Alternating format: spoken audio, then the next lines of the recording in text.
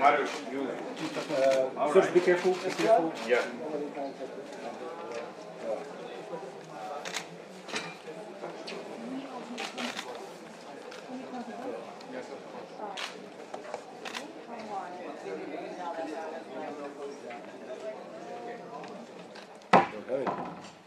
Hello again.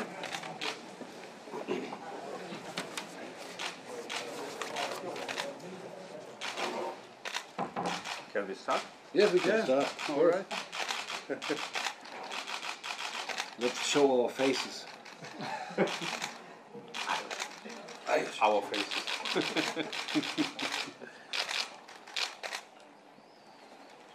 All right. Historical moment. Yeah, tremendous. Yes, it is.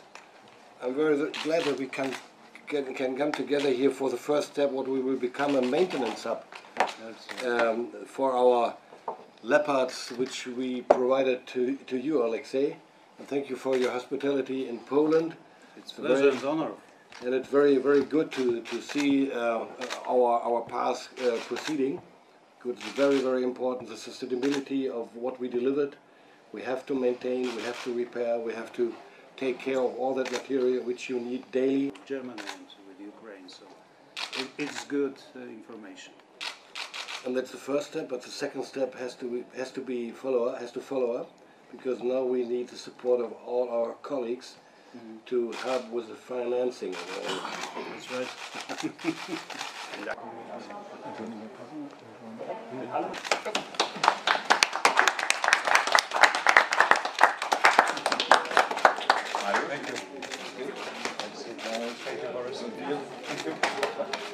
Good. Thank you very much. Complex to put together many nations, different capacities in different models of the of the. And we will discuss even, more on, on the on the ammunition. Uh, it's it's a kind of the concern for the for the Europe and also globally.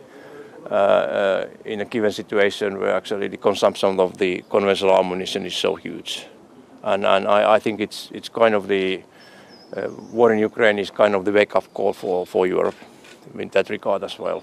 The stockpiles are too low, our industries are not anymore able to, to produce the capacity we need if we face a conventional threat.